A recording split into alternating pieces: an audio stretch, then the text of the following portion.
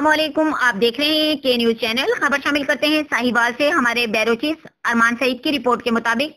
साहिवाल आज भी डाकुओं के लिए जन्नत बना रहा। मोटरसाइकिल सवार डाकू शहर में दनदनाते रहे, शहरी लुटते रहे, लुटने वालों में पुलिस एहलकार भी शामिल हैं और पुलिस खामोश तमाशाई बनी रही। अवामी समाजी हलकों ने इमरजेंसी डिक्लेयर करते हुए शहर फौज और रेंजर्स के हवाले करने का मुतालबा कर दिया। मुतासरी ने मुकदमा दर्ज करवाने के लिए ख्वार होते रहे। झूठे मुकदमा का इंदराज बिला तातल जारी रहा।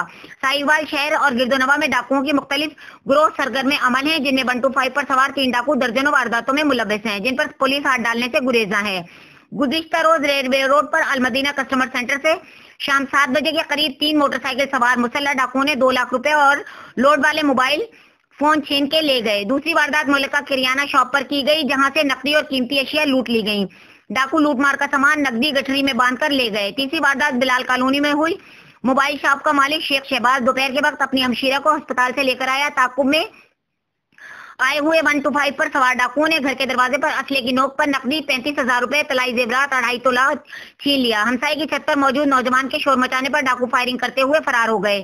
थाना कल्ला मंडी के इलाके एक सौ तिरासी के करीब दो मुसल्ला डाकुओं ने व्यापारी मोहम्मद सईद को नकदी सोलह हज़ार रूपए, मोटरसाइकिल और मोबाइल से महरूम कर दिया।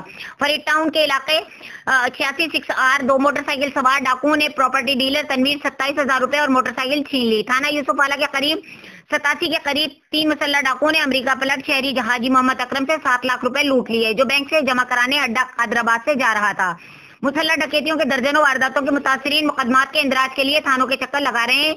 निस से जायद मुद्दई थक हार कर मायूसी के आलम में घर बैठ चुके हैं।